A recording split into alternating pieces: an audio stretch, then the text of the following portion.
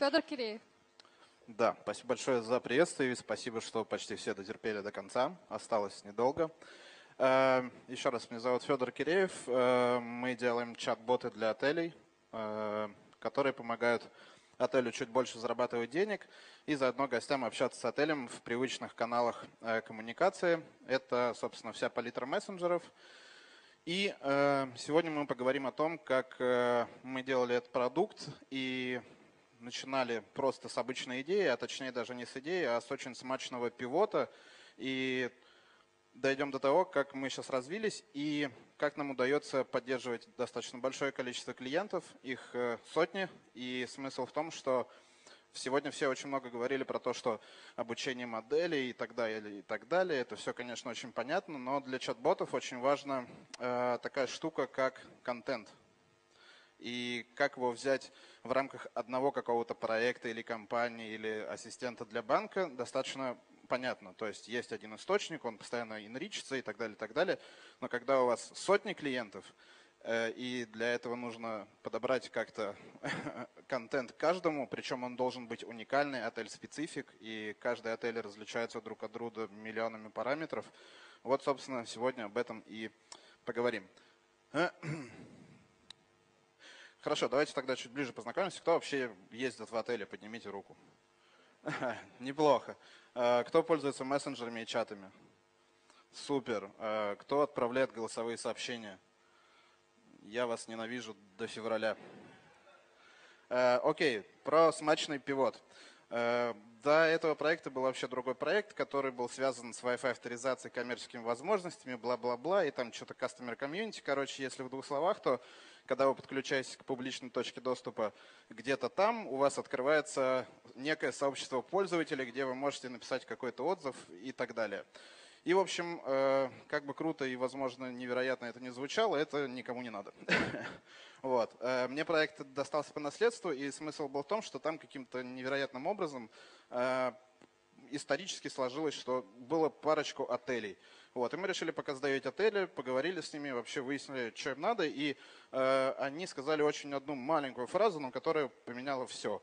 Было бы круто отправить проживающим гостям какую-то информацию. И мы такие, опа, опа, секундочку, так, давайте подумаем, что можно с этой информацией сделать.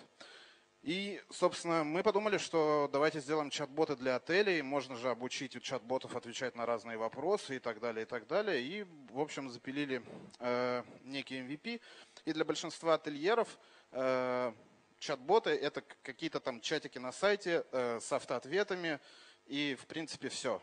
Э, по факту это далеко не так. Э, то есть, когда мы поняли, что автоответами и там, распознаванием речи гостей и распознаванием запросов гостей особо никого не удивишь, мы столкнулись с кучей огромных проблем, начиная от того, что нужно поддерживать разнообразные интеграции с отельными системами, подключать оплату, сделать сквозное бронирование, поддерживать мультиязычность. И, в общем, огромная куча еще дополнительных фичей, которыми оброс обычный чат-бот, который просто распознает запросы гостей и что-то им отвечает. Так и вот, э, что получилось в итоге? Мы э, умудрились объединить в себе все платформы коммуникации, и гости могут общаться в тех э, местах, где обычно они это делают, то есть в чатиках. Э, плюс мы интегрировали отельные системы, что помогло нам э, работать с огромным количеством данных о гостей и на основе этих данных формировать для них разнообразные предложения. И если в двух словах, то отель работает следующим образом. Мы все привыкли бронировать на разных OTA-сервисах, это Airbnb, Booking.com, бла-бла-бла, там сайт отеля. Это все сваливается в некий channel manager, который распределяет эти каналы, и дальше уходит в систему под названием PMS. Да, название так себе, но так оно есть. Вот. Смысл в том, что это Property Management System, система управления отелей, которая хранит в себе эти данные. И э, без этих данных обычный чат-бот с автоответами для отелей – это, ну, скажем так, слабо продаваемая история, и, э, скажем, этим уже никого не удивишь. И э, мы забираем огромное количество данных, это вот часть данных, которые есть от гостя, и на основе этих данных мы выстраиваем э, персональную карту коммуникации для каждого гостя, и за счет э, достаточно большого э, каздева мы выяснили, что у разных гостей есть разные потребности на разных этапах проживания в отеле. И все могут обойтись, конечно, и без этого, но здесь основная фишка заключается в том, что отель повышает уровень сервиса, добавляет вау-эффект, когда гости автоматически получают разнообразные нотификации в зависимости от своего сегмента, в зависимости от того, кто они, бизнес-турист, э, обычный турик, или, например, он едет с семьей. И, э, например, самый такой топовый э, кейс – это когда чат-бот сам рассказывает, как добраться до отеля, показывает доступные э, маршруты от вокзала, от аэропорта и так далее, и так далее. Вроде бы обычная штука, но э, в такие запросы и в такие уведомления закладывается upsell. То есть для гостя это выглядит как обычная рекомендация на основе его предпочтений, время прибытия и так далее, и так далее. Но отель может заработать дополнительные деньги. И таких э, скажем так, точек взаимодействия с гостем около 20. То есть после чекина бот сам спрашивает у гостя, все ли окей, нужны ли тапочки. И фактически для гостей, для отеля это некий э, вау-эффект и такая супер забота о госте. Вот. И гости реагируют на это очень позитивно. Собственно, э, когда у гостя формируется желание что-либо купить, эм, мы даем ему такую возможность, почему нет. Если гость хочет поесть, то окей, почему нет. Э, в пару кликов через Apple Pay, GPay, в любом чате э, он может это сделать. И тут важный момент, который стоит понять, что когда мы э, начали разрабатывать, мы поняли, что, блин, все должны пользоваться мессенджерами, это же, ну, так прогрессивно, это же супер тема. Но нифига не так, потому что большинство людей все равно предпочитают почему-то веб-чаты и неохотно проникают именно в платформу мессенджеров. Но как бы там конверсия плюс-минус уже стабилизировалась. Но суть в том, что мы подумали, да окей, пофиг. Ну то есть они хотят общаться в обычных чатах, ну мы не будем их останавливать. И как бы они заказывают услуги, получают какой-то value с точки зрения информации либо услуг. И окей, почему нет. Эм, тоже важный нюанс – онлайн-консьерж, бот, чат-бот, виртуальный ассистент, как мы только не пытались называть эту штуку, гости все реагируют очень странно. То есть для них э, онлайн-помощник, слово звучит более-менее понятно. Потому что чат-бот, все такие, что чат-бот, что это вообще? И э, начинается куча консерна. И, собственно, э, то, над чем мы сейчас работаем, и то, как мы масштабируемся. Мы поняли, что у отеля есть куча разных услуг, куча разных вопросов, которые гости, слава богу, задают от отеля к отелю э, более-менее одинаково, и с этим как-то можно жить, масштабироваться, но есть огромная куча контента. И вот на этом примере мы э, спрашиваем у э, одного из нашего бота, есть ли в отеле бассейн. Окей, бассейн есть, супер, ништяк. Есть карточка бассейна, есть куча информации о том, какой он там прекрасный и отличный. И э, что же дальше? Э, если мы спросим, привет, а во сколько открывается бассейн? Мы э, раньше показывали ту же самую карточку, и в принципе мы триггерились на бассейн, понимали, что это про бассейн, и показывали просто всю информацию, э, которая есть про бассейн. Но это не очень круто. Вот. И когда мы начали разрабатывать дополнительные автоответы, мы поняли, что все те услуги, все те вопросы, которые есть э, в отеле и около отеля, нужно разбивать на кучу миллионов там разных параметров, и их реально огромная куча. И когда э, мы спрашиваем при этом, во сколько открывается бассейн, то мы так и говорим, что бассейн открывается там, в 9 утра, например, и так далее, и так далее. И мы поняли, что э, на примере бассейна у него есть куча параметров, а еще у отеля примерно 300 или 400 разнообразных услуг, и это все зависит от отеля к отелю.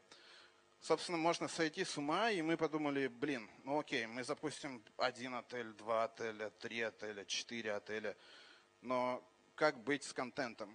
Э, очень разнообразное э, понимание есть у всех ботоделов, когда они думают, что окей, мы создадим какой-то сервис, где может э, наш клиент зайдет, там весь контент сам ведет и так далее, и так далее.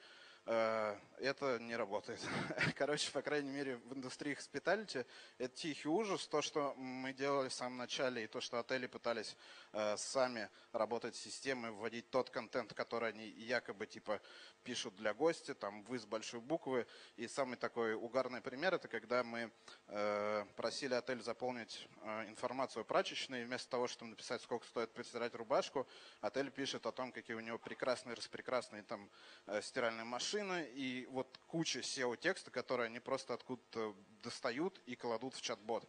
Э, для чат-бота э, характерно то, что там лаконичная информация, быстро подается, и э, в этом и ценность. И, собственно, как нам жить с сотнями отелей – Первый ответ на этот вопрос пришел сам по себе. Мы наняли редакторов, то есть которые начали писать контент для отелей, но мы поняли, что когда их там 10, 20, 30, 40, это как бы можно делать, но когда их сотни, это уже тяжко. И э, есть еще другая проблема. Когда мы начинали, мы пытались найти какой-то супер-мега универсальный источник, э, который нам расскажет все об отеле. Такого нет. Ни одного в мире. Ни Booking.com, ни любой другой OTA, ни любой другой сервис не отдает об отеле ту информацию, которую нам э, требуется поместить в чат-бот. Мало того, когда мы даже находим какую-то открытую информацию из открытых источников и обращаемся в отель к генеральному менеджеру, он говорит, что у нас все по-другому. Эта информация старая, тут мы не обновили, тут мы забыли, тут, короче, по-другому. И, в общем, такого источника нет. И э, мы подумали, ну что же с этим делать, как с этим бороться. И, э, окей, ты бот, сам спрашивай, сам заполняй. И в общем, нам пришлось разбить все услуги, все вопросы на кучу разных миллионов параметров. И смысл в том, что когда э, гость спрашивает у отеля какую-то информацию, которую бот не знает, мы под видом типа гостя спрашиваем у отеля э, эту информацию. Отель отвечает в понятном формате, и мы сами подпихиваем это в модельку ответов э, одного из, э, допустим, вопросов, либо одной из услуг. Вот. И таким образом мы как бы автоматизировали сборку ботов и сэкономили кучу времени. То есть сейчас э, благодаря этому механизму э, мы можем запускать отели э, за несколько минут. То есть из открытых источников мы собираем основную метаинформацию и фактически с пустыми модельками запускаем его в продакшн. И для условно первых там, сотен гостей это будет боль, но зато скорость запуска увеличилась, и ательеры сами понимают, что чем тщательнее они будут, чем детальнее будут они вводить ответы на такие вопросы, тем бот умнее. Потому что у многих ательеров в самом начале был такой э, распространенный мем, э, то, что чат-боты тупые. У меня был простой достаточно ответ, они э, тупые ровно настолько, насколько тупые ответы вы предоставляете в чат-бот. Потому что если вы э, предоставляете неточные ответы, недостаточно детализированные, то и чат-боту неоткуда взять эту информацию. Э, и э, пару хаков, которые мы используем на сайтах отелей. То есть мы живем э, по большей части на, скажем так, на Guest Journey Map, на Customer Journey Map, когда мы общаемся с гостем сразу после бронирования и до возвращения домой. Но на сайте отеля мы тоже иногда встаем и для сайтов отеля у нас есть некоторые стероиды, которые мы используем для большей конверсии. И один из них это э, то, что мы можем распознавать очень видно, не очень видно. Ну, короче, не суть. Мы можем распознавать источники, откуда переходит гость, э, какие рекламные кампании запускает отель, и на основе этого подсовывать гостю правильную информацию в правильное время, когда он ее ищет. И, например, если гость искал какую-то, э, в данном случае, э, семейный отдых где-то там в Подмосковье, мы сразу открываем чат с, со скидкой, и если мы знаем об этом госте чуть больше, то она может быть и еще и персонализирована. То есть чат-боты собирают весь кликстрим, мы это анализируем. Э, тут э, замазаны названия отелей, вот, потому что после таких конференций они обычно очень удивляются странным запросам от разработчиков.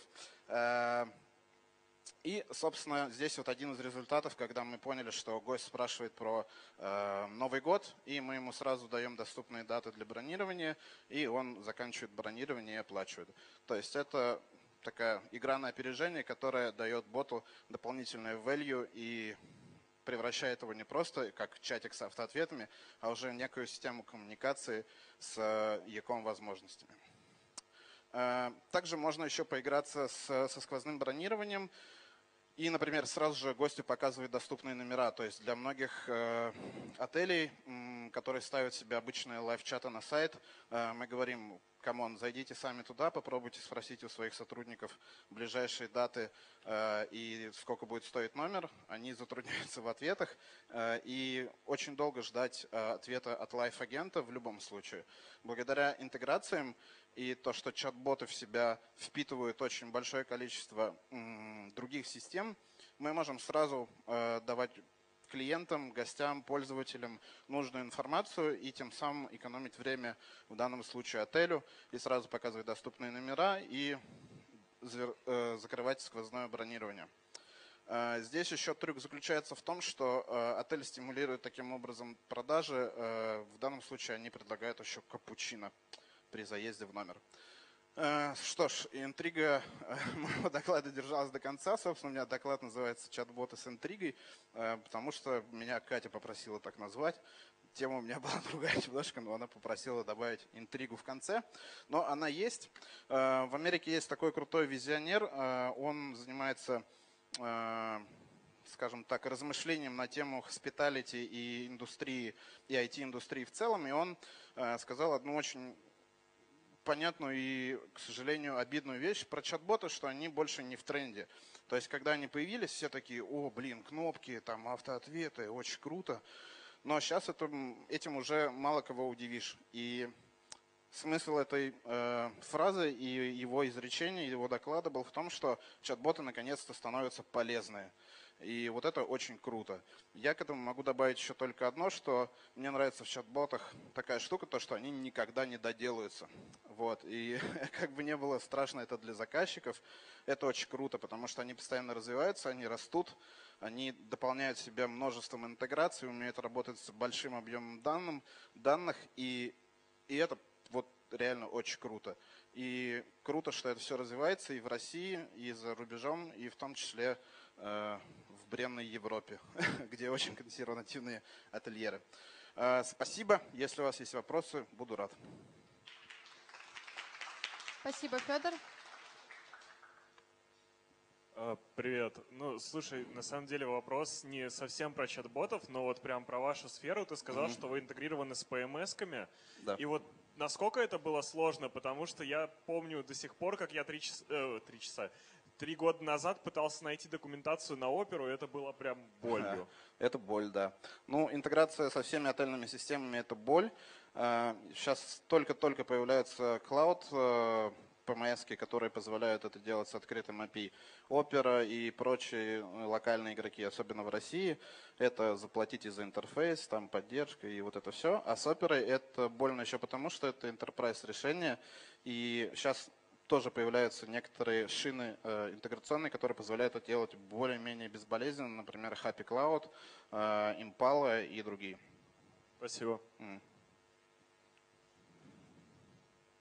Здравствуйте, спасибо за доклад. А, а вот вопрос э, с уточняющими вопросами от чат-ботов. Вы можете пояснить, как это работает? То есть а, получается, клиент спрашивает, во сколько бассейн, у вас нету этих данных, угу. вы спрашиваете ее в каком-то публичном чате отеля, на него живой человек отвечает, и все это время клиент ждет? Или как так? Или мы отвечаем сначала, что нет, мы не знаем, а сами спрашиваем, и потом уже результат выносим? Э, да, я сейчас отмотаю чуть назад. Именно так и происходит. Э, тут почему-то очень плохо видно. Ну, в общем, здесь написано, буквально минуточку уточню у человека и вернусь к вам с ответом. Ну, то есть для первых клиентов, для первых гостей это чуть-чуть больно, да. Просто нет возможности там более подробные анкеты давать или вот, что вы говорили, с этим проблема? Ну, то есть, с этим огромная проблема, то есть, э, да, то есть в самом начале ательеры заполняют огромный фак, но он очень огромный. То есть у одного бассейна порядка 20 параметров, а в некоторых отелях услуг э, порядка, ну, услуг-вопросов около 400. Вот. И нам критично запускаться как можно быстрее с малой кровью.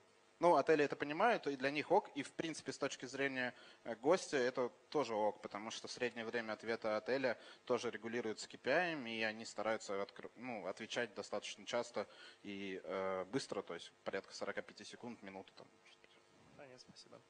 спасибо. Здесь вопрос? Подскажете тогда, вот как раз в продолжении этого вопроса, угу. а качество, как отели проверяют? То есть вот оператор что-то ответил. Да. Он мог ответить правильно, мог ответить неправильно, да? То есть что дальше с этим делать отелем? Э, если отвечает бот неправильно, то в данном случае мы сами э, мониторим это, и у нас срабатывают алерты, мы сами разбираем, почему неправильно, что неправильно и так далее. И в то же время мы отель просим подключиться как лайф-агент, чтобы человек помог разобраться с этой ситуацией. И плюс у нас есть еще лайки, дизлайки, то есть после того, как ответил бот, мы у гостя спрашиваем через какое-то время, все ли ок, все ли не ок, и если что-то не ок, то в чем была проблема. Ну и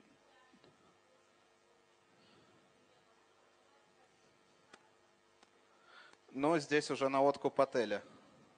Здесь уже на откуп отеля мы все время им напоминаем и стараемся ну, с сервисной точки зрения к этому подходить, что если у вас в отеле что-то поменялось, то не забывайте, что у вас э, вся коммуникация идет через чат-бот, и здесь нужно проапдейтить информацию. То есть если у вас бассейн вдруг закрылся, не забудьте об этом сообщить гостям. Так, а вот такой вопрос. А, как вы боретесь с проблемой перефразирования? То есть мы можем спросить бота, во сколько открывается бассейн, а можем сказать, во сколько я могу прийти в бассейн, ну и кажется, это примерно одинаково. А вот сегодня уже вроде звучал доклад про вот эту проблему, а вот как боретесь вы с этим? Больно обучением. Ну, то есть здесь э, примерно про одно и то же, но у нас за счет того, что как раз-таки э, все, э, все услуги, все вопросы разбились по куче параметров, на это заведены куча интентов, куча entity и так далее, то есть мы э, обучаем, да здесь рецепт э, не очень автоматический, то есть у нас отстреливает мониторинги на это, и мы реагируем уже руками. Но мы ведь можем э, какие-то связи найти в текстах, ну, не связанных с отелями. Ну, то есть, э, например, открывается и прийти э, из каких-то общих... Да, согласен. Но здесь нам очень повезло, потому что мы конкурируем, э, конкурируем с лайф-агентами на сайте отеля, и мы оттуда очень много базы забрали. Вот, поэтому спасибо им большое. Спасибо. Пожалуйста. А, спасибо. Еще один вопрос.